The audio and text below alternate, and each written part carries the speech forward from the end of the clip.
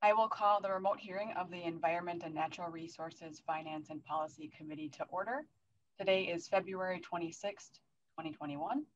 This meeting is held in accordance of Rule 10.01, which was passed and allows for remote hearings.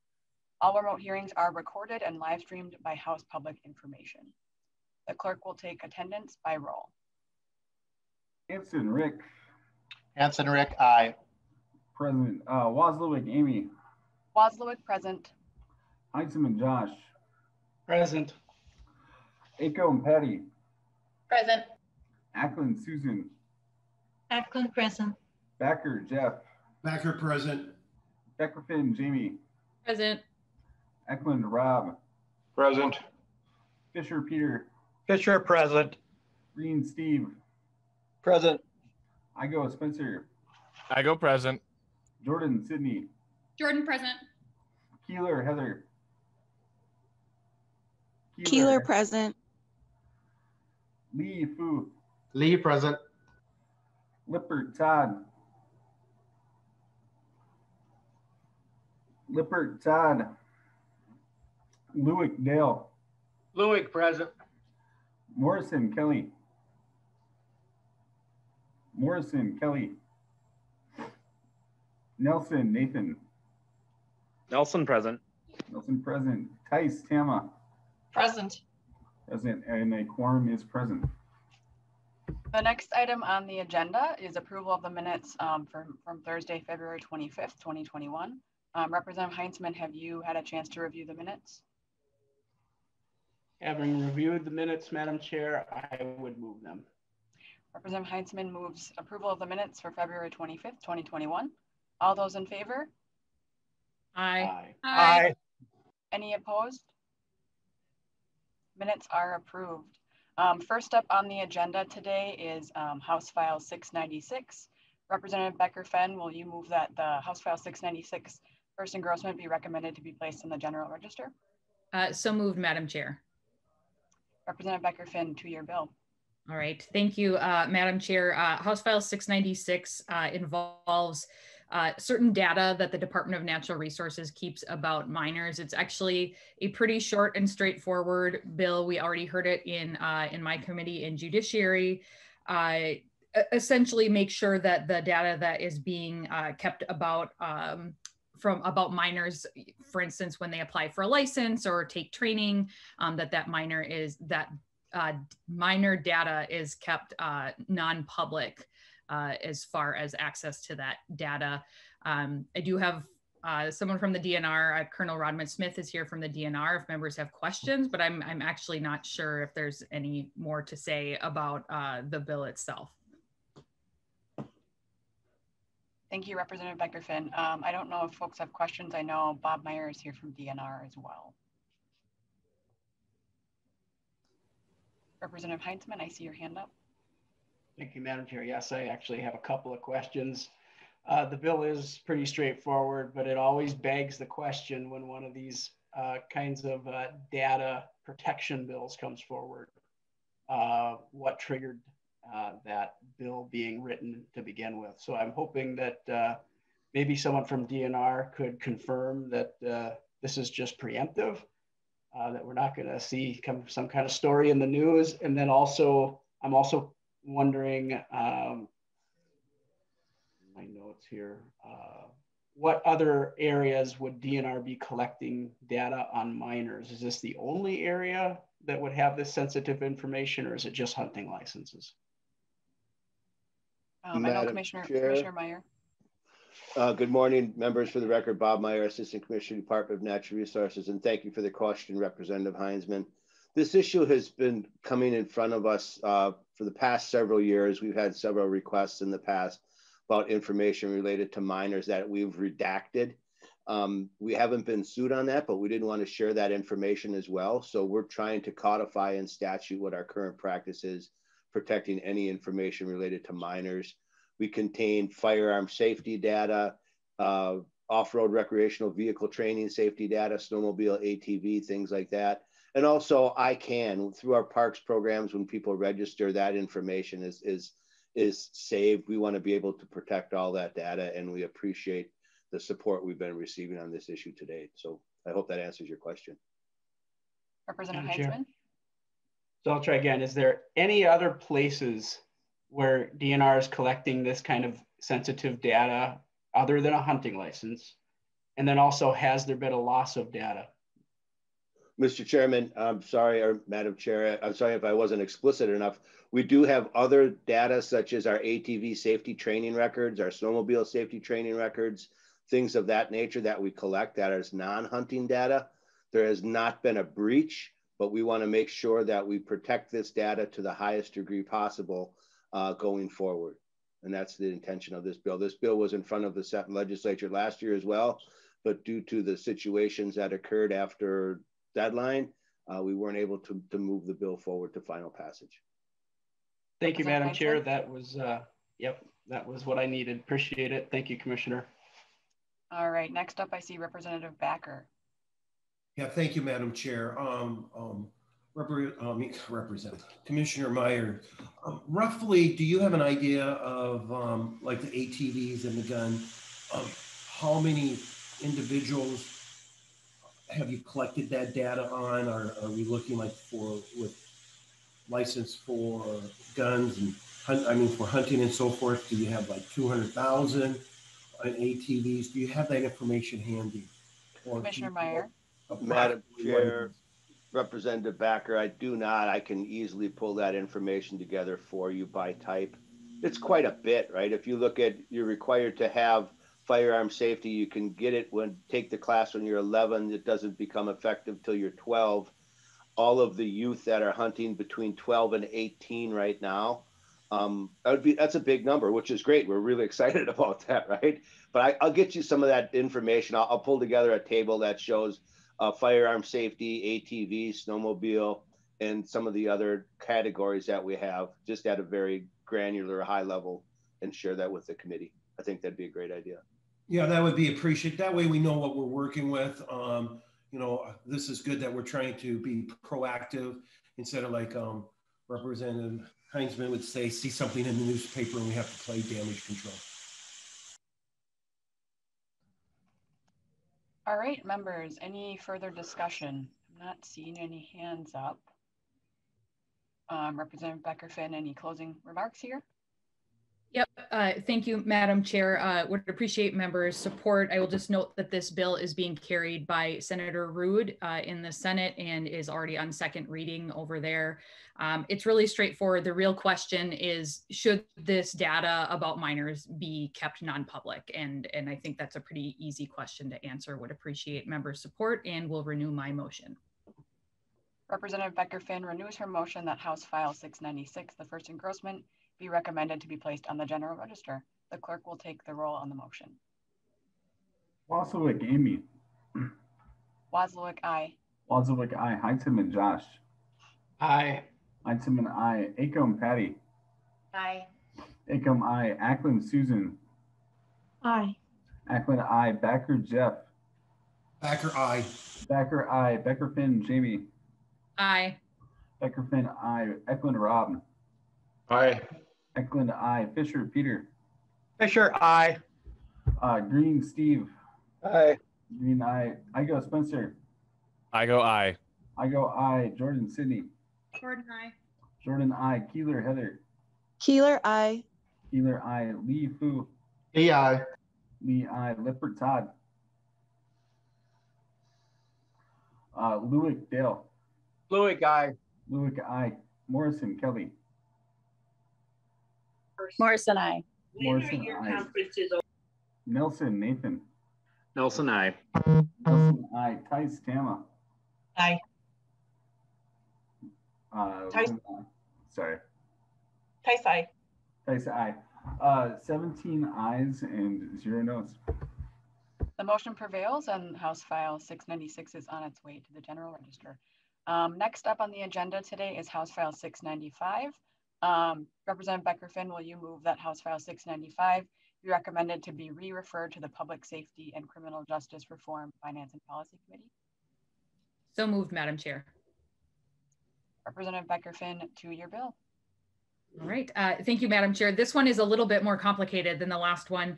Um, so this is a bill we we had before us last biennium as well, and it has to do with uh, updating our laws related to off-road uh, recreational vehicles and boats um, when people are driving those vehicles under the influence.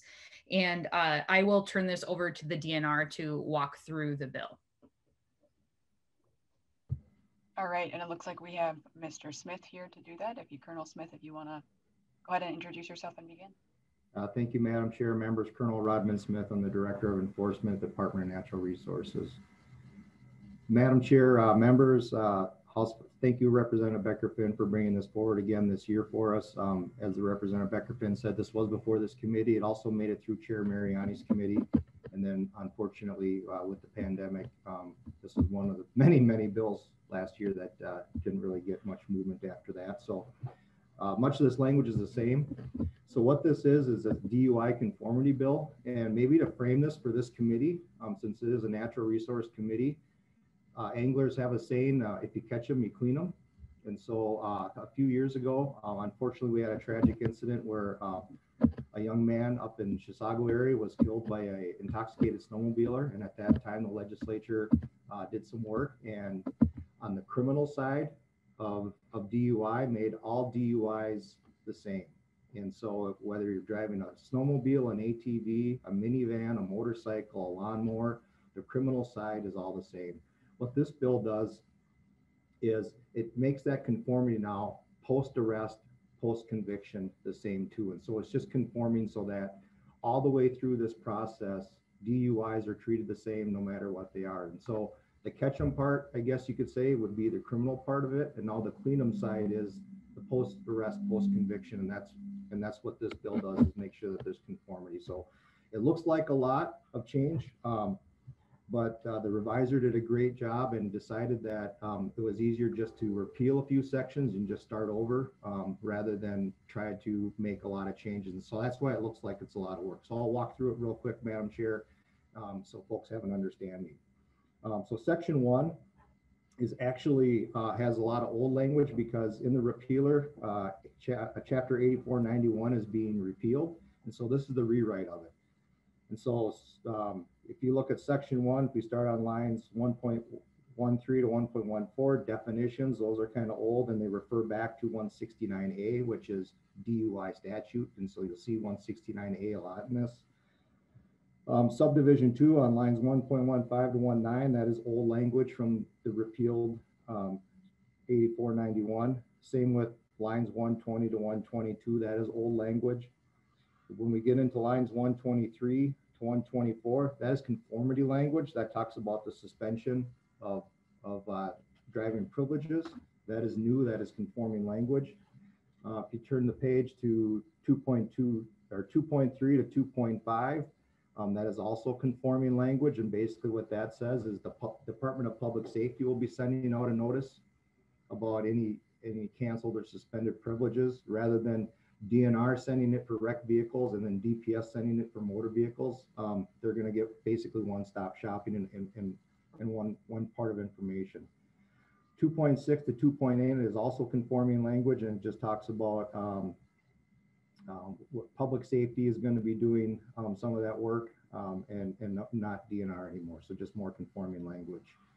2.9 to 2.14 is conforming language that deals with interlock. Um, and so it makes, uh, again, wrecked vehicles the same as traditional motor vehicles. And then 2.15 all the way down to 2.19. That's just old language, um, but there is a little bit of rewrite just to make sure it's conforming with um, with traditional motor vehicles. So that's section one. Um, section two is some cleanup language uh, in chapter 84. Um, it talks about um, uh, last year in a different DUI bill, conservation officers were given the authority to uh, write DUIs for traditional motor vehicles. And so some of the language you see that's being removed on 2.25 to 2.28 um, need to be repealed because we do have that authority now and we don't need that in statute anymore. Section three um, is also some cleanup. Um, about fines based on this conformity. And basically, since uh, you can see on, on line 2.31, since uh, 8491 um, has been repealed, that's been repealed are taken out of this as well. And there's just some more cleanup um, in this section. And then you see some new language on three one to three four um, that kind of ties back with uh, 97065, which I'll talk about here in a little bit later in the bill where there's some cleanup. Section four is basically the same as section one. Section one dealt with ATVs, off-road vehicles and snowmobiles. Section four does the exact same stuff, but for watercraft, because watercraft is found in chapter 86, where wrecked vehicles are found in chapter 84. So in the interest of time, I'll just say ditto from chap section one, and, and we can move on. Unless there's questions, obviously. Section five um, talks about, um, again, fines uh, and, and bail, and this is cleanup because uh, uh, chapter uh, 86B 331 was repealed. There had to be some cleanup language in, the, in where that money goes. Um, section six uh, looks like a lot of stuff, but really some of it is it's, it's just cleanup. So if you look at lines 4.15 to 4.17, since we did make the changes in uh, section one with uh, wrecked vehicles and where that where those fines go, it was somehow placed in game and fish law many years ago. So we're taking that out of game and fish law keeping that over in chapter 84 where it should be.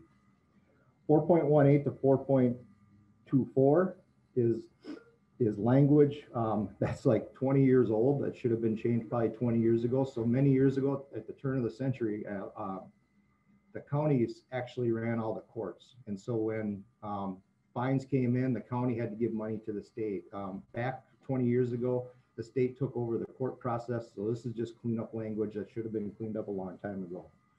Same with uh, lines 2.4.27 to 4.32 and uh, 5.1 to 5.3. That's all that old language um, when the counties used to run the courts. Section 7 is getting into DUI law. Um, the work that was done in Section 1 and Section 4 allows um, a number of subdivisions in 169A to be repealed. And so in the repealer, you'll see um, 169 1A, 1B, and 1C um, being repealed. And so there's just a little bit of cleanup language on one 5.7 to 5.8 um, to address what has been done um, previously. And then you can also see some of that cleanup language because of those repealers on 5.25 to 5.31. Um, and then 6.3 to 6.8 is just conforming um, language because of those repeals. 6.9, section 10, um, that's conforming language when it comes to impaired driving. 171 um, is in relation to driver's license, and that's the statutes where you'll find a lot of stuff around driver's licenses.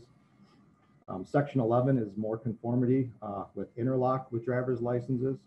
And then section 12 is the reviser's instructions um, because uh, DUI law is a little complicated. I like to think of it sometimes as a Rubik's Cube. When you move things a little bit, uh, sometimes the revisor has to help clean things up a little bit. And they did a great job on this. And, and this is just allowing the revisor to make some cleanup if needed. And then section 13 is a repealer um, with some of the things that are being repealed I touched on. So with that, I can stand for questions. Thank you, Colonel Smith, for, for walking us through the bill. Um, members, any questions on the bill?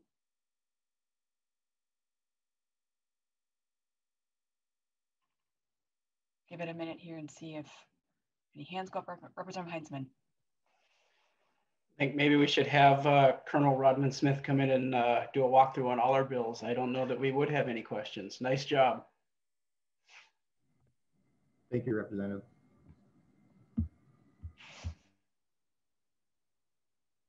Any other questions, members? Not seeing any hands raised. So Representative Becker Finn, any closing remarks? Uh, appreciate member support. It's a good bill. Thank and thank you to Colonel Smith. All right, Representative Becker Finn renews her motion that House File 695 be recommended to be re-referred to the Public Safety and Criminal Justice Reform Finance and Policy Committee. The clerk will take the roll on the motion. Wazlawik, Amy. Wazlawik, aye. Wazlawik, aye. Heintzeman, Josh. Aye. Heintzeman, aye. Acomb, Patty. Aye. Acomb, aye. Akland, Susan. Aye. Akland, aye. Backer, Jeff. Backer, aye. Backer, aye. Becker, Finn, Jamie. Aye. Becker, Finn, aye. Ecklund, Rob. Aye. Ecklund, I. Fischer, Peter. Fischer, aye. Fischer, I. Green, Steve. Aye. Green, I. Igo Spencer. Igo aye. Igo I. Jordan, Sydney. Aye. Jordan, I. Keeler, Heather. Keeler, I. Keeler, I. Lee, Fue. Lee, I. Lee, I. Uh, Lueck, Dale. Louis, aye. Lueck, I. Morrison, Kelly. Morrison, I. Morrison, I. Nelson, Nathan. Nelson, I. Nelson, I. Theis, Tama. Tama, I. Theis, I. And then it's 17 ayes and zero nays. All right, the motion prevails and the bill is on its way to the Criminal Justice Reform Finance and Policy Committee. Representative Ackland, I see your hand up. Did you have a question? I, I just have one question. I just, I was just noticing something and maybe it's too late, but I would like this clarified. So under 5.21, um, driving while impaired, uh, under section seven, driving while impaired motor vehicle, the number seven, um, it looks like it, it, the person, so it says within this, um, let me let me just back up. It is a crime for any person to drive, operate, or be in physical control of any vehicle as defined in these sections and talks about an alcohol, controlled substances, et cetera, et cetera. Then number seven, the person's body contains any amount of a controlled substance listed in schedule one or two, or its metabolite other than marijuana or THC. So are they, is this excluding somebody that's under the influence of marijuana or THC? I see Representative Becker Finn has her hand up. Representative Becker Finn.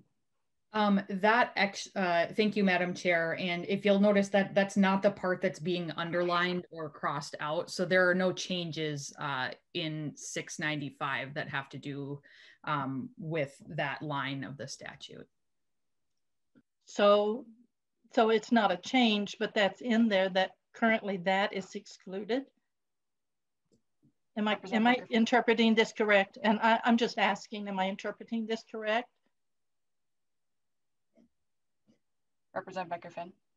Uh, yes, that that I, I guess that is the that is the underlying statute, and I would encourage you to talk with uh, House Research if you have additional questions. But again, um, 695 doesn't make any changes here. Madam Chair? Representative Ackland? Is it too late to change my vote?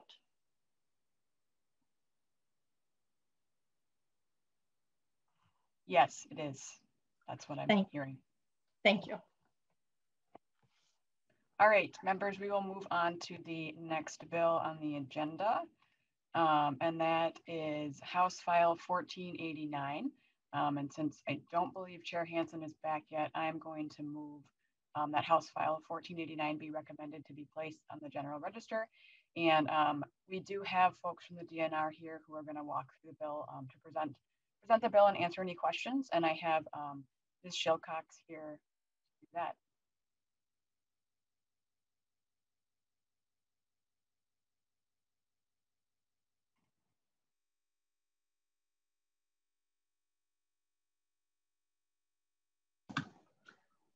Ms. Shilcox, you're on mute.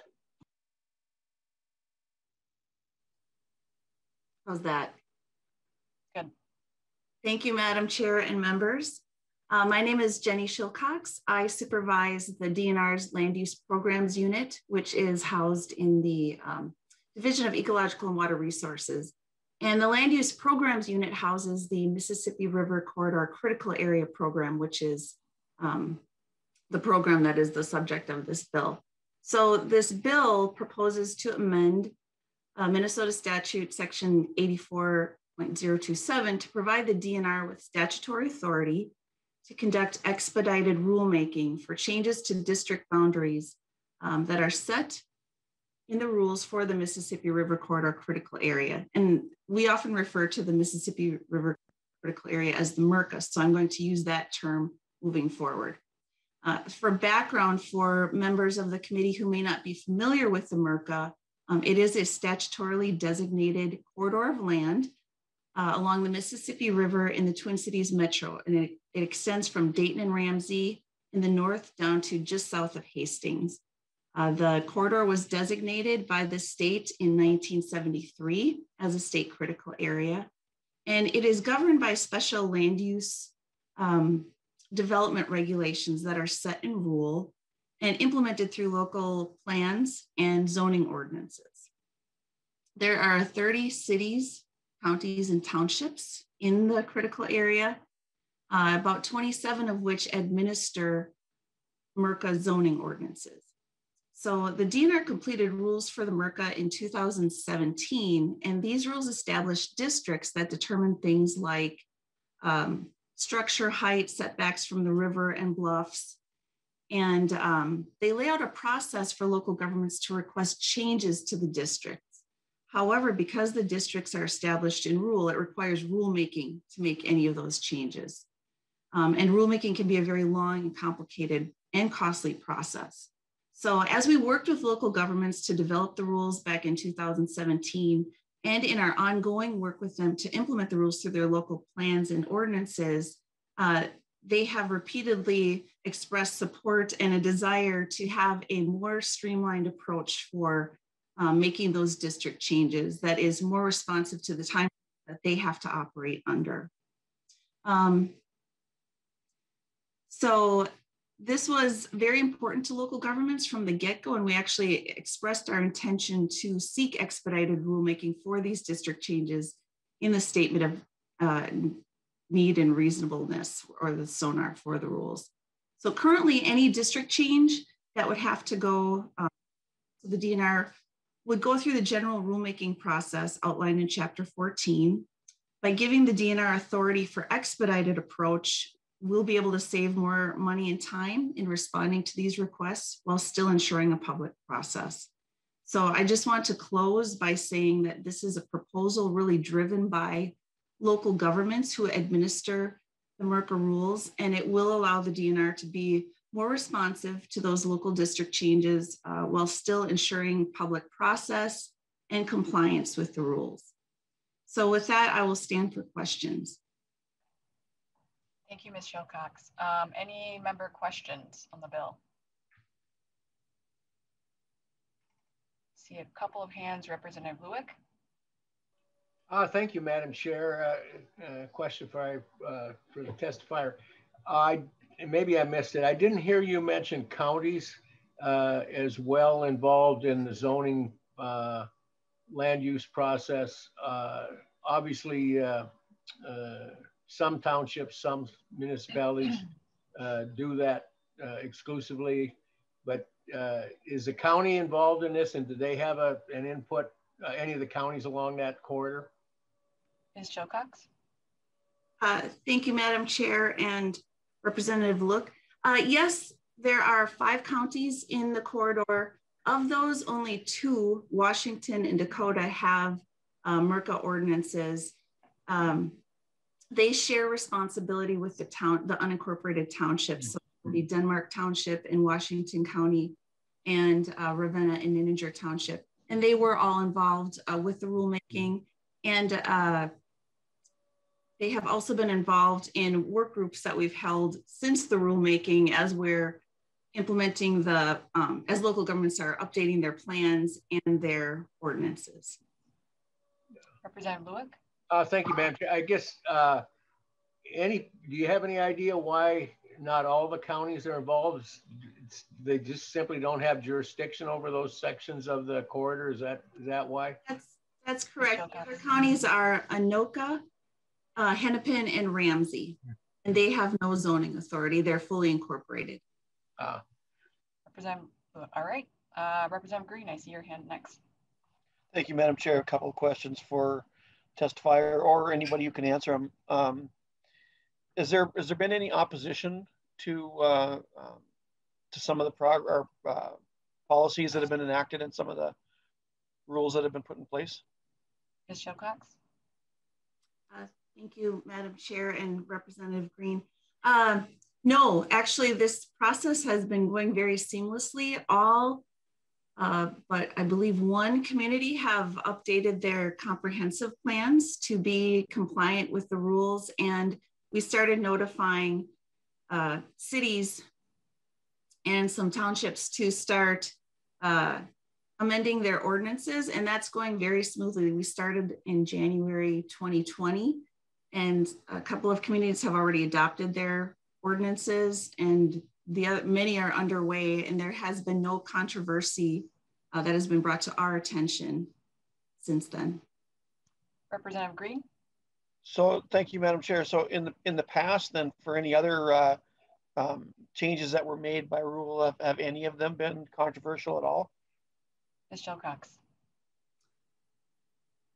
Um, could, could, you repeat the question? I apologize. I'm not sure I'm understanding what the question. Well, uh, excuse me, Madam Chair. Thank you. The um, you on your testimony, you said that uh, the the process now is is made by rule, and so it has to continue to be made by rule. So, have any has there been uh, any controversy, any pushback in the past through this whole process?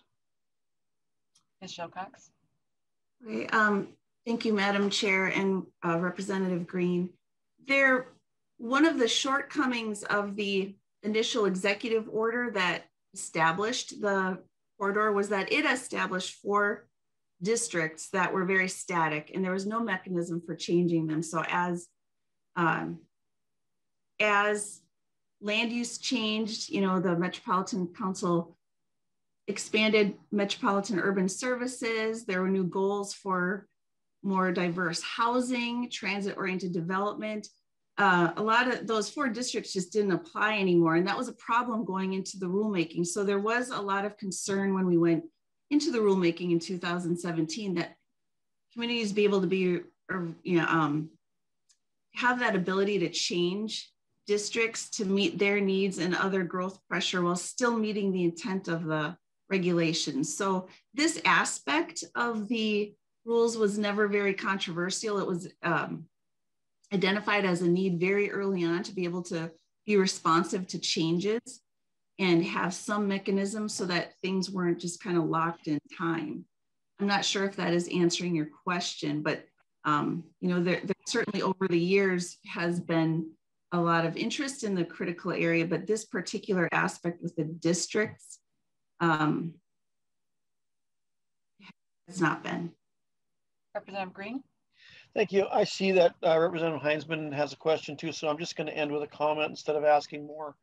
Um, I see uh, this uh, uh these kind of uh, issues come forward more and more, and and so what uh, what I hear from both agencies and and other entities is that the process is just too hard or it just takes too long. And so let's cut some corners. Let's let's kind of squeeze out the people so that they have less say and less knowledge of what's going on. Uh, these these policies that we have or these uh, rulemaking uh, rule um, laws that we have are designed for public input. They're not supposed to be easy. Not it's not supposed to be pushed through uh, in the in the quickest fashion possible. I do not like this bill. I think that uh, I think that this could come back to bite the area, uh, the people in the area. Um, uh, they will they will see things going through and wonder how they passed. And uh, I hope uh, I hope it doesn't come back to get you in the end. Representative Heintzeman. Thank you, Madam Chair. And I was going to ask Steve's question just in a little bit different way. I see Commissioner Myers here, and uh, maybe Commissioner Meyer might help us better understand, I guess, two things. Uh, again, is there opposition that has prevented this from becoming law in the past? And, and maybe he could help us understand why that has become controversial. And I notice that uh, it doesn't have a companion in the Senate, so I'm, I'm wondering if uh, there's been difficulty there. And uh, I understand, you know, Chair Hansen's not here, so it's his bill. He might know that, and I know I'm putting uh, Representative Jamie Becker in a spot, so maybe that's unfair. But if Bob could at least address the first question, and if Jamie Becker Finn has uh, some background, that would be great. It looks like Chair Hansen is back. I don't know, Chair Hansen, if you heard Representative Hansen's question. I d- I didn't hear the question. I'm still trying to get my uh, computers in sync here. So, but I go ahead. Uh, um, I will go ahead. Thank you. Uh, you know, so I was just wondering, uh, Representative Green was trying to find out if there's opposition to this language, and and I think that not having a, a Senate companion was just raising some flags for him. And it, are you aware of where the pushback is coming from on this, and what what the difficulty in the past has been getting this done? Chair Hansen. Um, and you're you're on the 1489. Yep. Yes. Yep. yep. That's right. Okay. So I think um, I talked with Senator Ruud this morning, and I think she's just got some jackets. So I'm not sure on um, it. It may have just not been dropped in yet. Um, I'm not sure on this particular one, but she said that she ha- still has. She's still trying to get some things scheduled. So and and uh, bills dropped in. So that's just on why there may not be a Senate jacket. Um, this was a DNR policy bill. Uh, 10 years ago, when the original uh, Mississippi River critical area, I authored that bill. Uh, Representative Heintzeman, uh, I'm not sure if there's any other members that were here during that uh, time. And it, I think it went to nine committees at the time. And it was controversial, but it also had a three year, I think it was three or maybe four years of implementation. It started in the Pawlenty administration, the rulemaking, and finally we extended the rulemaking and it went into the Dayton administration and was finalized. And uh, I worked with then Representative Abler, uh, who's now Senator Abler, uh, and all the kind of controversy got wrung out of it during the rulemaking. What this bill does is deals with expedited rulemaking. So I think the, uh, and this is on the borders within the critical area. Um, that wasn't really the issue uh, in, in the past. It was, this originally was an executive order by Governor Quie in the 1970s. And so we went through the statute changes in the late aughts, and then the rulemaking took a very long time. And now they want to adjust uh, the borders of the zones within the rulemaking based on the science. Um, I, I think what all, if there are members who remember it, it's the memory of that rather than the current, any current controversy relating to this. I have heard no controversy uh, regarding this. I have communities that are in the, uh, in the critical area. Um, and I think this is just uh, providing for ease of updating those uh, particular zones. So I could be wrong on uh, uh, with uh, the Senate, but I think this is one that just didn't hasn't been dropped in yet, and maybe DNR uh, would would know more on that. I see Commissioner Meyer just came back. So Commissioner Meyer. Madam Chair, uh, members, again for the record, Bob Meyer, Assistant Commissioner. Uh, Representative Hansen did a very good job of describing where we're at. There is no known controversy. Actually, the League of Minnesota Cities um, or the, the metro cities do support this provision. Really, what it is, it's it's it's a it's a streamlining effort for us to codify local government decisions through an expedited process for rulemaking. It doesn't make sense for us to to go through a full blown Chapter 14 rulemaking process to update or to codify the decision of a local unit of government. So it's really an efficiency bill. And Representative Hansen did clearly identify this project. It it started off very bumpy, but through the hard work of, of Ms. Shillcox and her staff, we were able to reboot the process and come up with something that, that works, that's very supported. And now we're just trying to streamline the end product of, of what we have accomplished in statute. So, and we're working very hard to get the bill uh, heard in the Senate to meet deadline and uh, go forward from there. Representative Heintzeman. That helps a lot. Thank you, Madam Chair. All right, members, any other questions on this bill? Don't see any hands going up. Representative Hansen, did you want to make some closing remarks? I know you just got back here.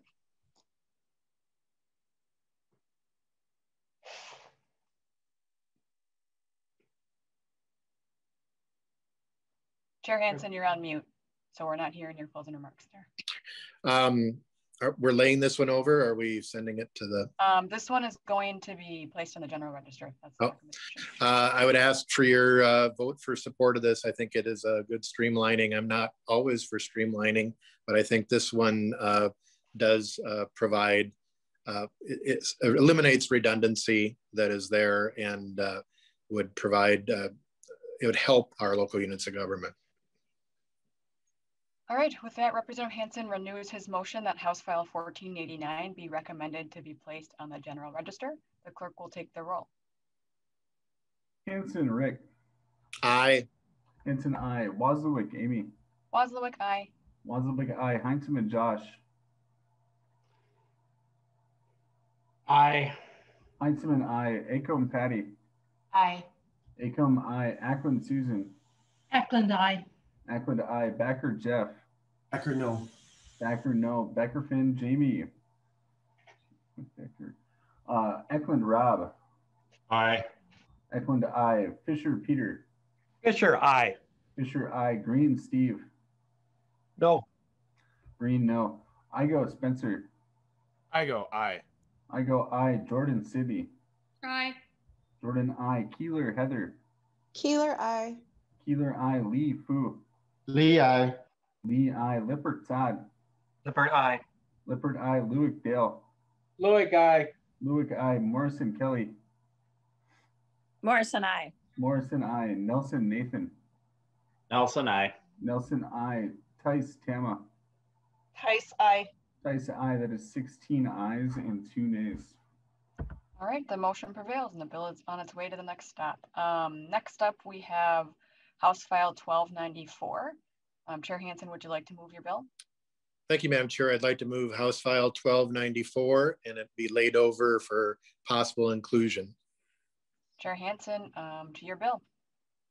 Thank you, Madam Chair and members. Uh, this bill relates uh, to an issue of water uh, and uh, how do we protect our water and make sure that our water is not uh, taken. Uh, this bill was introduced last year by former Representative Wagenius and had some hearings and I wanna just walk through the bill. I know there are a number of testifiers uh, that uh, can provide good insight on the water. Uh, a key component here is a public meeting. So when we're when there's a large usage of water, and I know you're going to ask, where did the 216,000 gallons per day average in a 30-day period come from? That comes from 150 gallons a minute times 60 minutes times 24 hours, and that's uh, uh, the standard. There, that's the where that dollar or that amount comes from. So when there's a large water use uh, for that permit for consumptive use, so that doesn't mean that we as humans are consuming it. It means that it's being taken and not replenished. Uh, there would be a public meeting um, and it has kind of the standard public meeting information. It also defines vintage groundwater. So this is groundwater that uh, with a tritium concentration. So a little bit about tritium with the atomic bomb testings in the 1950s and up until the Nuclear Test Ban Treaty of 1963, uh, that the bomb uh, uh, testings actually resulted in tritium uh, being distributed in the atmosphere. So we can tell age of, of water by looking at the tritium concentration. And tritium is uh, has a half-life, I think about 12.4 years. So we can measure and age uh, water based on uh, its tritium contact. And then it provides for sustainability. So looking at that consumptive use for groundwater, uh, looking at recharge. So we don't want to be uh, taking so much that uh, we don't have the groundwater supply to meet the needs of future generations. I would also just uh, note when we're talking about groundwater, there is a recent Supreme Court decision, uh, Minnesota Supreme Court, looking at groundwater as drinking water. And I think that uh, essentially indicated what we know is that groundwater can become drinking water and we need to protect not only the quality, but the quantity uh, so that it isn't uh, taken or exported uh, for a different use. So that is the bill. And I have a number of testifier, testifiers and I know we're running out of time, so I'll stop. All right, we do have a number of testifiers on the list. Um, and first up is Mike Slavik. You could introduce yourself for the record and present your testimony. Uh, thank you, Madam Chair and members. My name is Mike Slavik. I'm a Dakota County Commissioner, uh, and this proposed language is really an important step in the right direction, uh, providing more public involvement in large uh, appropriations and addressing sustainability. Uh, in Dakota County, 90% of our uh, drinking water comes from groundwater, and Dakota County is one of the largest counties for largest users of agricultural irrigation in the entire state of Minnesota.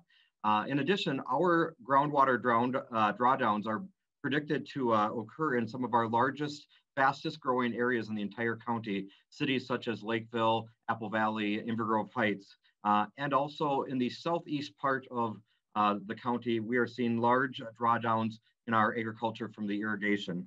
Um, this is most important to the Dakota County Board of Commissioners uh, because only about two years ago, we were presented with an issue in the southern part of the county where a uh, private entity was looking to uh, draw withdraw 500 million gallons of water um, every single year to go in and ship it by train down to the state of Arizona for irrigation purposes. And that has really uh, elevated the issue of the drawdowns within our uh, county, as well as uh, the concerns that there was not a public process for, uh, for, for, some of that to happen. Fortunately, the DNR was able to step into to other state statutes, but we are very concerned of uh, what is happening with our groundwater within Dakota County and the state of Minnesota. Uh, and I, there is uh, additionally testifiers. We do have county staff if there are uh, questions for some uh, county experts on that. And otherwise, thank you very much for uh, your consideration, Madam Chair. Thank you, Mr. Slavik. Um, next up on the list is Jason Moeckel from the DNR. Mr. Moeckel, if you can identify yourself for the record and present your testimony. Good morning. Thank you, Madam Chair and members. Jason Moeckel. I'm a section manager within the Division of Ecological and Water Resources in the DNR. And um, we appreciate um, the testimony and, and the author's interest here in, in, helping us do the best job for the state citizens in Minnesota. There are some concerns that we have with the language in the bill that I thought um, would be helpful to share here today. Uh, and we're very much in favor of um, public engagement. We, we do host a lot of meetings about groundwater use throughout the state in places where we have a lot of uh, intensive water use. However, when we uh, evaluated the, um, the threshold here of the 216,000 gallons per day in a 30 day period, and we looked back at the number of permits we've issued over the last six to 10 years, we're, we're estimating that this is going to require us to host 75 public meetings on average and as many as 100 public meetings a year um, there's a substantial amount of um, resources that would be needed to, to be able to do that and do a good job of it. And I believe you have a fiscal note that would identify that our estimate is about $423,000 a year just to host these public meetings. The other thing that we wanted to mention is the, um, the vintage groundwater um, provision is, we see it as problematic for a few reasons. Um, one is that the tritium uh, signal that Representative Hansen spoke to is actually fading out. And um, we, we are in active discussions with the USGS and other uh, geologic organizations as to what we're going to be able to use in the future to age groundwater. Um, the signal for tritium essentially is going to be uh, gone in another eight to 10 years. It's one that we rely on now and use for our county geologic atlases. So we know relatively speaking, the, the age of the water, and we classify that water as either um, uh, uh, modern, mixed, or pre-modern.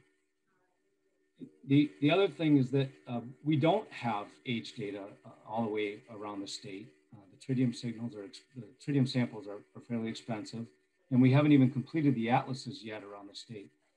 So in order for us to implement this, um, we're going to be um, operating without the information that we need to be able to evaluate permits. And, and I can't emphasize enough that um, the, this vintage, quote unquote, what we call pre-modern water is distributed all around the state of Minnesota. It shows up in bedrock aquifers uh, here in the, in the Twin Cities.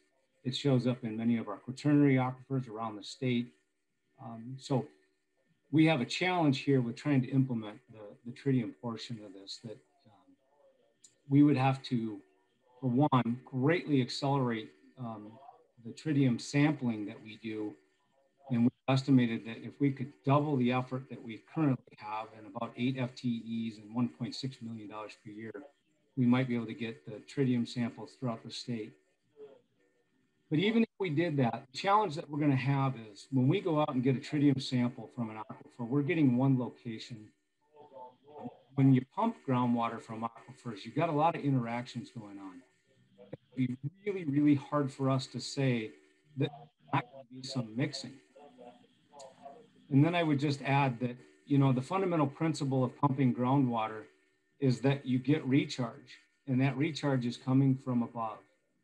So if we are going to be held to the standard of not allowing these aquifers to, to have um, water from above recharging deeper aquifers, then effectively what we're saying is we can't pump groundwater from these deeper aquifers. It's not to say we don't understand the intention here was to protect water quality. We understand that. We just don't think that this tool, is, as it's currently crafted, is is um, uh, going to get us uh, get us there. And then the last thing I'll just quickly add is that the um, adding the recharged language to sustainability, we we don't think that that's really going to be clarifying. Um, it's just not a technical term. We have rules in law that define safe yield uh, that we already use and apply to our aquifers. And uh, there are no situations in the state of Minnesota where we are currently experiencing the issue of safe yield. Uh, where there are places where it's of concern, we're working with appropriate local communities to manage those concerns. Um, and, and then, of course, there's the sustainability component of that, which is how the uh, pumping of groundwater is interacting with surface water features.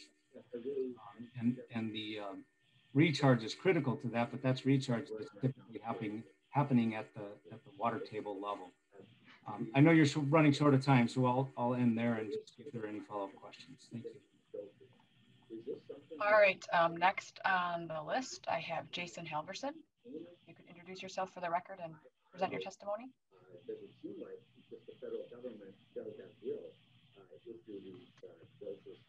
Madam Chair, uh, I'm Jason Halverson, farmer from the uh, Bonanza Valley, Bonanza Valley area in central Minnesota. Uh, um, I would just like to say that I have uh, many concerns with this bill and its language. Um, we live here, we farm here, we raise our families in this area. Um, if anyone's going to be affected by overpumping or uh, pumping up any contaminated water, it's going to be us first. We're right here. Um, so with that, I don't see how adding more regulation is going to benefit anyone in this area. Um, irrigation has a huge economic benefit to this area. Um, so I, I guess uh, I'm not in favor of this bill uh, whatsoever. Uh, so with that, I'd like to thank you for the opportunity to speak on this topic that is very, very important uh, to myself and my family. Thank you. All right, thank you for your testimony. Next up, we have Grant Anderson, and we'll get to member questions after testifiers. Uh, Mr. Anderson, if you can identify yourself for the record and present your testimony. Thank you, Madam Chair. Um, my name is Grant Anderson. I too farm in the Bonanza Valley between Belgrade and Brooten, uh, family farming operation. I have several concerns uh, with the bill, as uh, Mr. Moeckel pointed out from the DNR. Uh, having to go through a public meeting, as I'm aware of when uh, when we try to uh, or when we apply for a livestock facility permit, these public meetings can become a free for all, if you will, from people that don't have much stake in the issue at hand. Uh, that's my big concern with the public meeting. It, anybody from the state could come to testify, and the DNR already has a a scientific method, if you will, to making sure that uh, the pumping that we're going to do from the aquifer is sustainable and uh, that we're not going to cause damage to the aquifer. They have, uh, like I said, a scientific method that, that there's measured results. We have to do a pump test as part of the application process for a new irrigation permit. And those numbers are quantifiable and, uh, and can be reviewed. Uh, a public meeting is going to be nothing but a free for all for uh, how do I say it, uh, for anyone opposed to commercial agriculture to testify against them. And, uh, and then, you know, it, at the end of the day, there's still real no teeth in the matter. The DNR is going to have the authority to grant or not grant that pumping permit. So I, guess uh, regarding that public meeting, I, I, just, I feel that it would just add more red tape, regulation, and uh, uh, time that agricultural producers uh, would have to try to fight the public to be able to operate out in greater Minnesota. So uh, regarding the sustainability standard and the consumptive use of groundwater, like I said before, the DNR already has a set of data points in place uh, that can be measured. So to try to put an arbitrary statement in there to say that the groundwater needs to be sustainable for the needs of future generations really doesn't have any teeth and or metrics that, uh, that can be measured. So for those reasons, uh, uh, I, I'm opposed to the bill. Thank you for allowing me to testify. Thank you for your testimony. Uh, next on the list, we have Lee Hansen. Mr. Hansen, if you would identify yourself for the record and then present your testimony.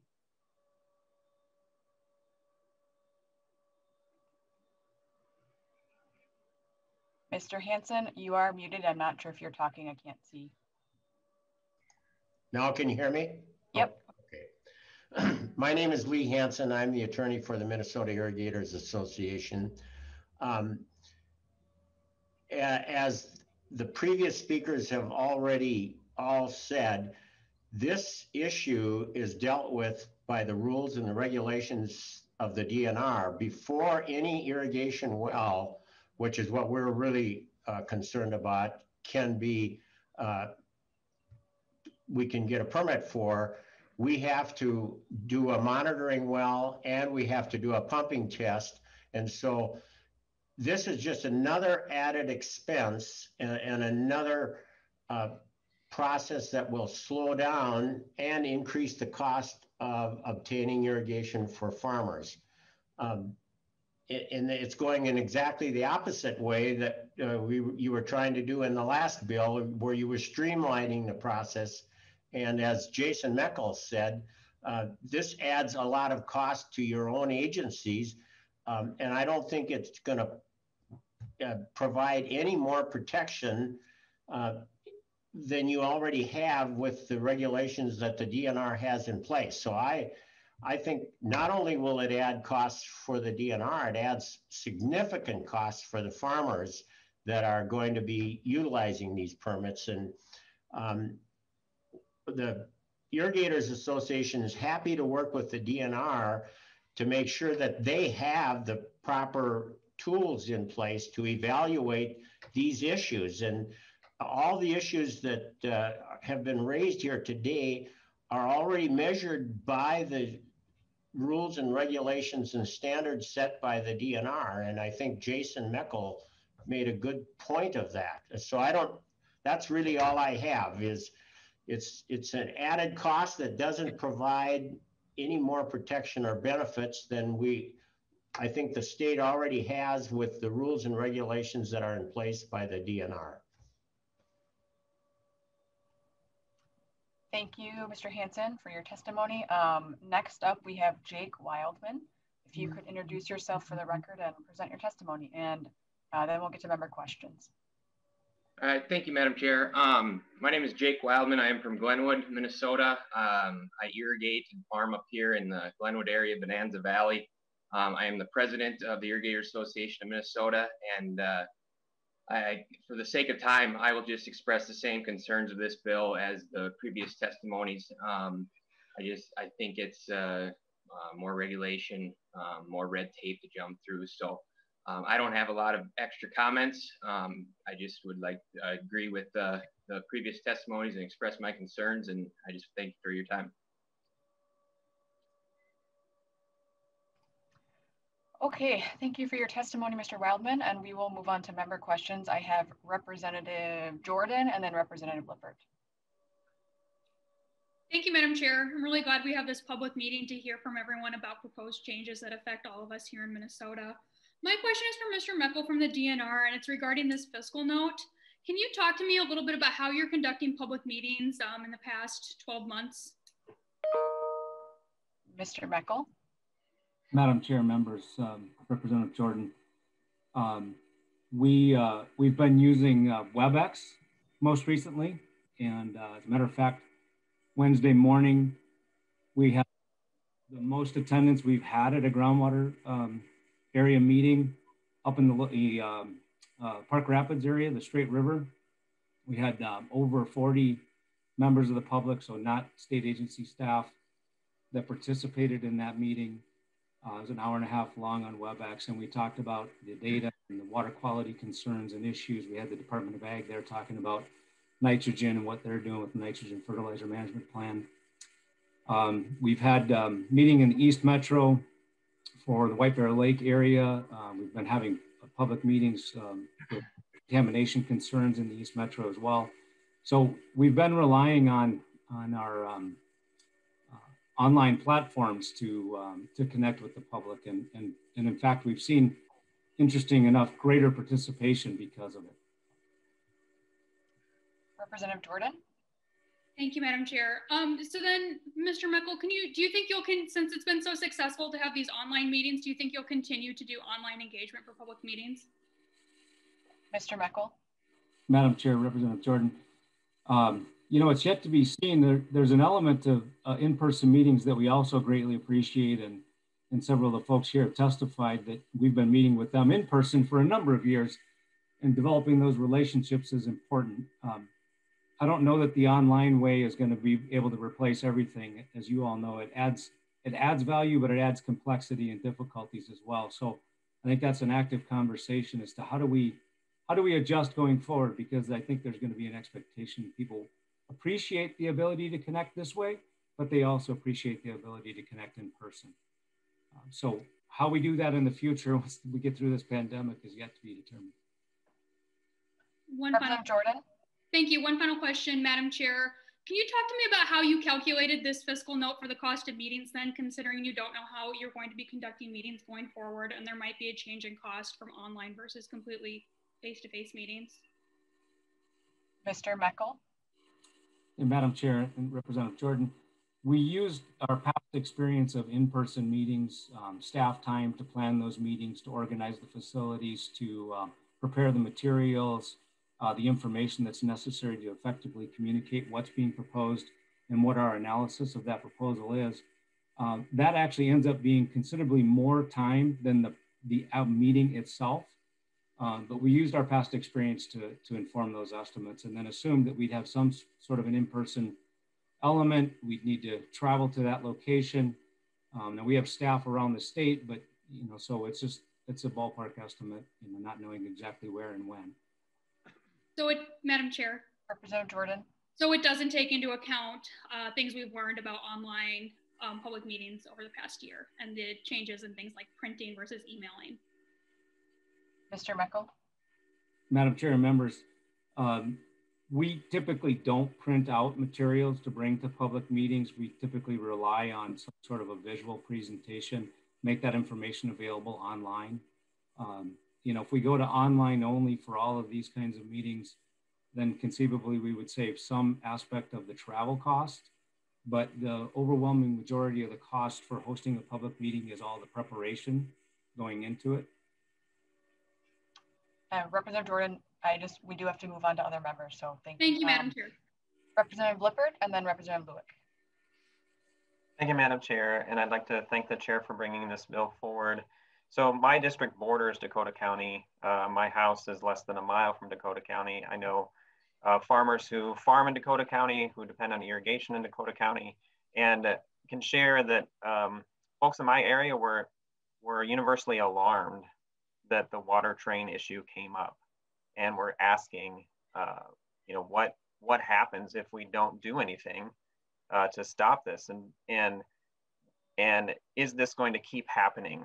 Where we have to uh, try to try to stop uh, water from being shipped out and you know what kind of safeguards uh, will be in place for us. So um, i just want to express that concern that that's what i'm hearing here. And i just ask that of the bill author you know what what the question that my constituents are asking what happens if we don't do anything right now? Chair Hansen. Madam Chair, um, I think they'll be back. I think that there will be more proposers. Maybe it won't be just Dakota County. Maybe be, they'll go to the Bonanza Valley. They could go other places. Um, and the question of existing rules and statute, would they hold up in court?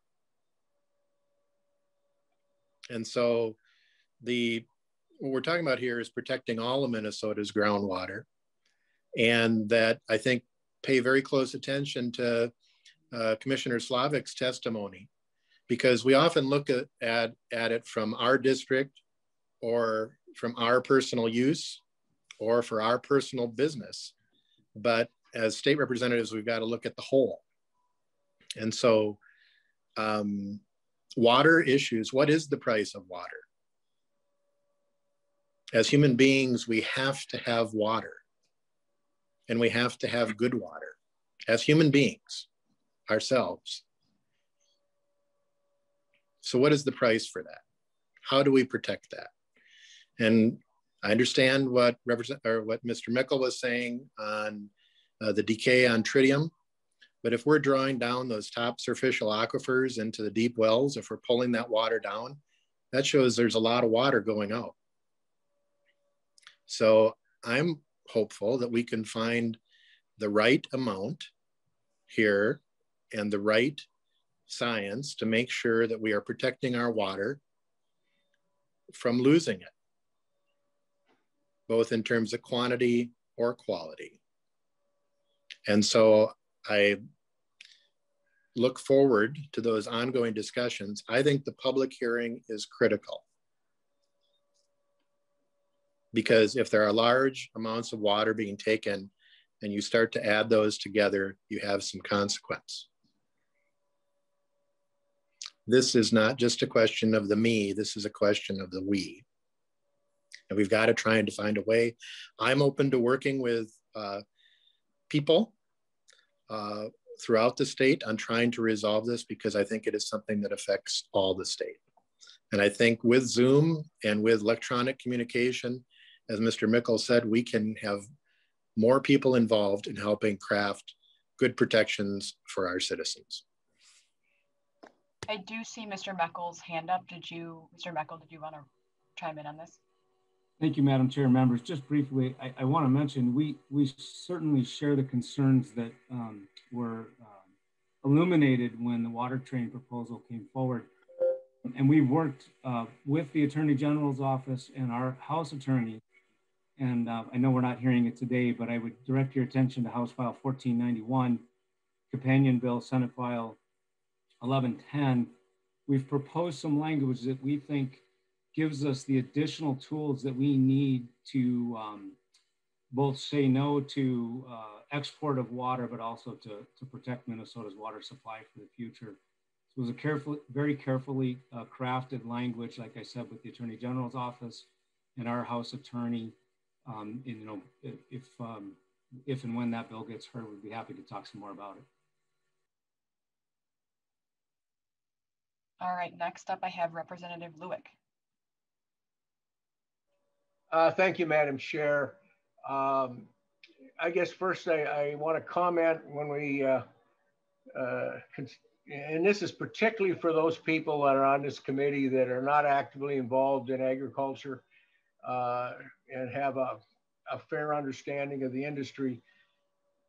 I want you to just, colleagues, please take a look um, at the faces of those three uh, testifiers.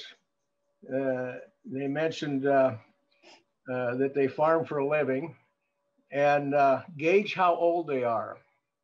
Uh, these are three young farm families. it's interesting uh, that they've had to come forward and stand up uh, uh, because they certainly have concerns about this bill. And what is one of the biggest issues we have in agriculture is attracting young families. And I, they were very careful to kind of tiptoe around the business of public hearings. And, and I want to be very clear. Uh, we have seen existing process on public hearings for a, a new permit to irrigate turn into an inquisition. Let me repeat that again. A public inquisition directed toward the permit applicant where young farm families were hounded, harassed, insulted, literally were concerned about their personal safety. And this wasn't coming from their friends and neighbors. This was coming from folks uh, that were hundreds of miles away that uh, frankly uh, uh were certainly not directly impacted uh, by a single irrigating permit for a piece of farmland. The other comment I'll have is pretty clear that this legislation is so far behind the science or disconnected from the legitimate science as we understand how aquifers work. Uh, I think it's a, it's a concern that uh, it needs to go back on the shelf and, uh, and be brought up to date with uh, what we are doing. So I just want to ask the bill author, this bill is intended to be laid over. Do we have your uh, agreement that you're not going to stuff this into a bill without this going to the Agriculture Committee for a full uh, vetting because that's where we really deal with irrigation. And I would just really be concerned that if by laying this over, we're going to allow this to sit there and then jam it by the aid Committee without uh, the real uh, expertise uh, vetting this bill. Thank you, Madam Chair. Chair Hansen. Thank you, Madam Chair. Uh, the DNR has the responsibility for the irrigation permits, and that's within the jurisdiction of this committee. The uh, issue here, the issue, Representative Lueck, you know, you're looking at this through the lens of a use. There are other uses that may be a higher use for water that would take water. And so what if what if they take the water? What if somebody else takes the water? As representatives, we have the responsibility to represent our districts. We are all equal. We all have constituents. We all have constituents with we have young businesses. We have people who built new homes. We have people in old homes. We all are equal. The attempt here, we are going to lay it over to continue to work on it. I'd be happy to continue with work with you, to work with you, work with any member of this committee, and get input from the public as we lay it over. This is a public hearing. This is a public process. We are not moving it out today. We are going to continue to work on it.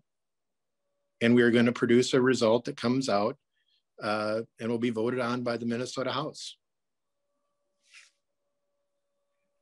Uh, Madam Chair, I, I guess I guess I'll kind of dig through that comment and say the, your assumption is you're going to go straight to the House floor, uh, but please uh, consider that uh, that water, uh, at least on the agriculture side, uh, eventually manifests itself in some type of food stock for humans and uh, and animals that we may consume in the you know so it's it's very easy to make this a global issue but there's a lot of pieces there. The second thing is there's another area over in commerce because you're right uh, water is used for a lot of other manufacturing processes so i would suggest that not only uh, would we be just jamming this through without really vetting it if it uh, wouldn't be thoroughly looked at by the agriculture committee, but we should be looking at it in commerce too, because there's a lot of industries uh, uh that do consume water to produce uh, goods and services that, that we need. And again, my biggest concern here is that this, this bill is so far behind the science. I understand a little bit about how things relative to to uh, radioactive substances uh, work. Uh, and I understand half-lives. And so the tritium issue is, uh, it's, it's history uh, and it's going to be gone and, and it, will have no, literally no value. Uh, so we need to do some research in that area. But again, I, I think that I'm, I'm still concerned. Your answer was, this is, this is, this is ready. Apparently, uh, for the House floor, I, I would certainly disagree in that uh, uh, with that. But again, thank you, Madam Chair. Um, I will just echo what Representative Hansen said. The bill is being laid over. There is an opportunity for folks to chime in and, and get, get to a better place with the language. Um, Chair Hansen, did you want to address? I think uh, using words like jamming it through, uh, we've just spent time on this and we're laying it over for more input. And I would just encourage members to think about using words that uh, are not accurate. All right, next up I have Representative Fischer and then Representative Theis. Uh, thank you, Madam Chair. Uh, my first question would be to uh, Mr. Moeckel. Mr. Moeckel, what is the highest priority for uh, allocation of water and water allocation priorities that the state has in permitting? Mr. Moeckel. Madam Chair and members, uh, the highest priority in, in statute is domestic water consumption. Representative Fischer. Uh, thank you, Mr. Moeckel. So that takes priority over, you know, with that being number one, it's the number one use for water being allocated to the state. So the way I understand what Representative Hansen is trying to do, and I very much appreciate his bill being brought forward here, is to create a discussion because while we had the water train issue come up in Dakota County, there's nothing that would prevent one of the Western states saying, we need more water for our local communities. It is cheaper to go to Minnesota, buy the water, and ship it out. So tomorrow, there's nothing that would prevent one of those communities saying, we're going to apply for a permit for 500 million gallons from the Bonanza water area. And there's no open meeting process or anything else. This is for the number one use for domestic because there's nothing in statute saying that it's domestic use for Minnesota only. So it's domestic use, could be anywhere in the country.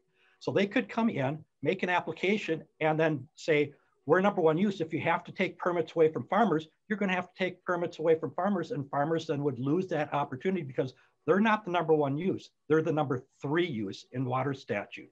So I think it's very important that we have the public part uh, hearing place in there because there are times where farmers are going to need that because they're not the number one use in the state domestic uses. And its domestic use could be interpreted by the courts anywhere in the country. So i want to say thank you representative hansen for bringing this forward to allow the public to have a say in it because i think the farmers would want to have a say in that that if they're finding out they're not at the top anymore. And also more important i appreciate the other bills you have that are coming forward to help address this issue. Thank you Representative Theis and then Representative Heintzeman. Thank you, Madam Chair. Uh, probably just a few comments, but I'm really most interested in the, oh, I got the wrong mouse here, uh, the last line of the bill. So that would be on line 2.7. When determining whether a compre presumptive use of groundwater is unstable, the commissioner must make a determination that the level of recharge to the aquifer impacted is significant to replenish the groundwater supply to meet the needs of future generations. Um, probably Mr. Moeckel, you can help me out on this one. How is that done? Mr. Moeckel. Madam Chair and members, um, first of all, I, I need to explain that you cannot actually directly measure recharge. So the way that we understand recharge is to use the monitoring wells, the network that we have in the state of Minnesota, which is up to a, a 1,150 wells now. And we are able to track water level change over time. So that's how we understand whether or not the aquifers are going down, going up, or stable. Um, when it comes to evaluating individual permits, we use groundwater science to calculate the amount of drawdown that is expected from a proposed well. And then we're able to compare that with the data that we have in the area to determine whether or not we're going to see uh, more drawdown than the aquifer can replenish. Um, so just, or then is, then is being replenished. In addition, um, and this is the case in the places where we have some real intensive water use, we have developed some very sophisticated water budget models in the East Metro, Little Rock Creek area. We're working on that for Dakota County. Uh, we're working on one for the Bonanza Valley and eventually the Straight River. Um, and, and the whole metro already has a groundwater model developed by uh, the Met Council uh, and their consultants. so that we're able to look at these issues over the long term. But these tend to be very localized situations that we have to evaluate within a, a mile, couple of miles, three miles, four miles of proposed appropriations. Um, our network is the key to us being able to do that, that monitoring network. Representative Theis. Madam Chair, thank you. Uh, thank you, Mr. Moeckel. I guess what I'm what I'm hearing is it could just be a once in a lifetime thing. So my question is, is there a process to go back and check some of these and say, hey, it's not as bad as we thought it was? Um, and to make sure that we are, you know, helping out the folks that are farming in that area. Thank you. I'm sorry, is there a process to go back and check it out? Mr. Moeckel.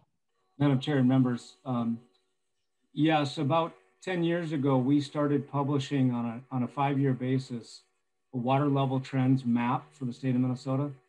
And we're relying on places where we have sufficient number of years that we can actually statistically determine a trend. As you all can imagine, the water levels in our aquifers go up and down and track very much what happens with our climate. Um, and so we have now a map, you'll see this in a report that you, this legis, well, not this legislature, but previous legislatures require, the DNR publishes this report. It's a water availability and assessment report. And the uh, report is due every five years. We update that map every five years. And it tells us where we have declining water levels, where they're stable and where they're increasing. Um, I can share that map uh, with, with members to make it readily available. Thank you, Madam Chair. Uh, I guess, are any of our farmers still on or have they uh, gone back to work? I see a few, I think they're all still here. Okay. At least their names are still on the screen, whether they're there or not. Okay. I'm just, I would just like one of them and I'm not really sure who's who's here. Maybe, okay, I'm gonna An pick. Mr. Anderson has indicated that he's here. Okay, how about Mr. Anderson then? Um, just ask if if what they do for their uh, water. Um, oh, I'm sorry, I, my allergies are terrible and my brain is fogged. Um, could could somebody just talk to me what your process is on on a, like a yearly basis or a daily basis, please, Mr. Anderson? Mr. Anderson. Yes, thank you. Uh, uh, when it comes to, uh, I would imagine you're referring to an irrigation permit. And uh, so the DNR, before we drill a well, the DNR issues a preliminary uh, uh, drill assessment. And then if we were to drill the well, then we have to submit the pumping records to the DNR. And then we're, you know, after review, they will either accept or deny our permit. And once we have a pumping permit in place, then we have to uh, report the gallons pumped by month uh, through that irrigation system uh, to the DNR on a yearly basis. I don't know if that answers your question uh, as to uh, kind of the normal usage of the water. Representative Theis, Mrs. do you have a follow-up? Uh, I do, thank you. I just basically just want to make a comment and I just want to thank the young men that are here representing our farming industry I come from a farming background and that my grandpa was a farmer.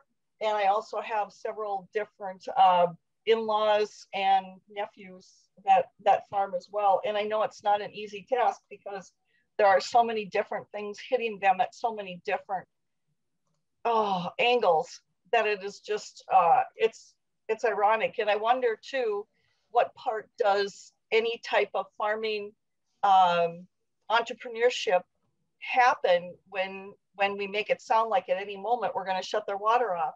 I think of by Brooten, uh, we have Redheaded Creamery. That is an awesome place to go, uh, not only to be with friends, but also to have some great cheese. It is amazing cheese. And I think of what we as people um, participate with when we go to different countries, and, and it just feels so restrictive right now. But I think that last line just scares me half to death, that it is nothing scientific, it is a determination. And that alone just horrifies me. Thank you. Thank you for all you farmers for, for what you do. And thank you, Lee, for taking care of them on an association level. Thank you, Madam Chair. Representative Heintzeman. Thank you, Madam Chair. Uh, I think I see that Commissioner Meyer is still on the line. And um, I read a news story and I'd just like to confirm uh, because there's been a lot of questions around uh, this, uh, I guess, proposal that water would be shipped out of the state.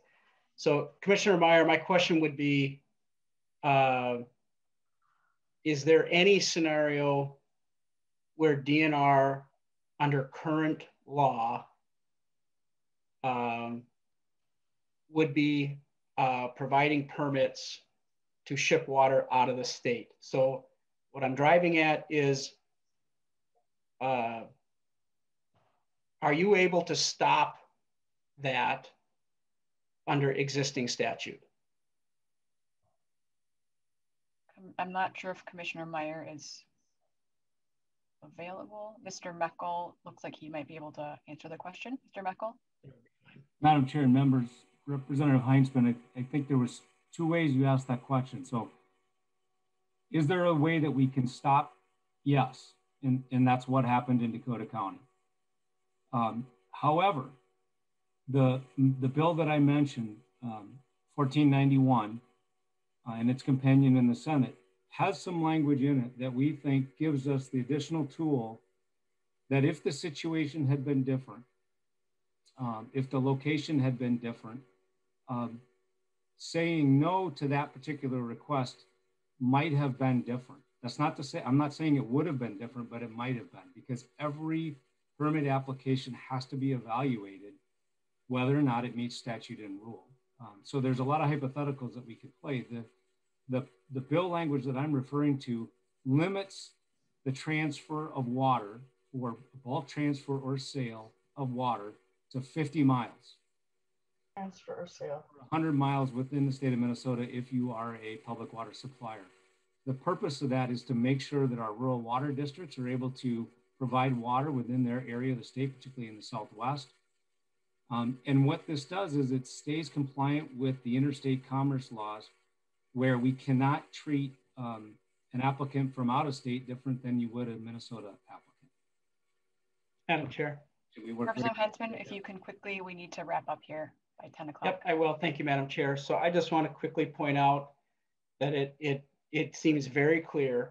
DNR has stated in news stories, and we're hearing confirmed today, that current law is uh, providing the opportunity to stop the transport of water in the way that would cause some concern, it seems. And the other thing I wanted to point out is we have numerous folks from our friends in the Agriculture Committee testifying here today against this bill.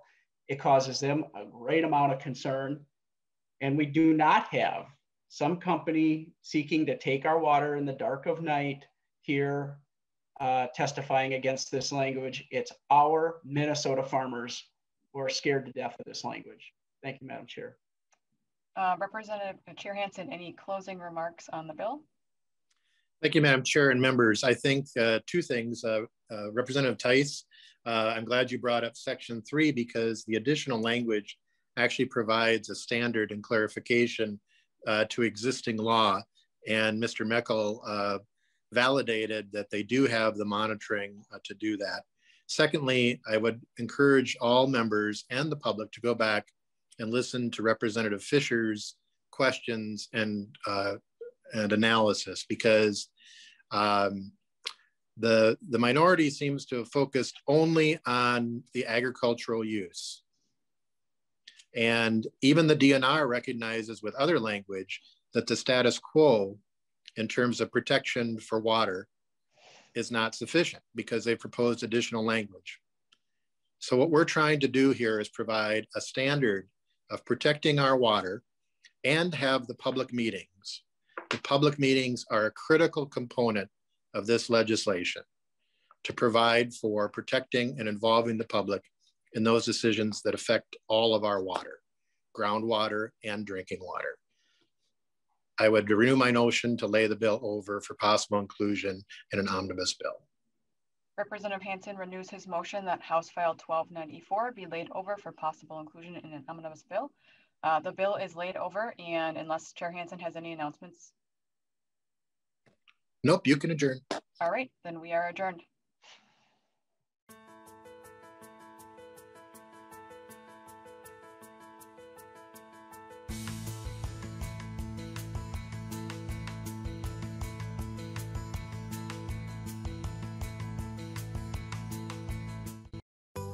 The 2021-22 Green Book is here. The members directory of the Minnesota Legislature includes House and Senate member information, committee schedules and assignments, and other legislative information. Call House Public Information Services for your free copy at 651 296 2146, or you can request a copy via email at info at house.mn.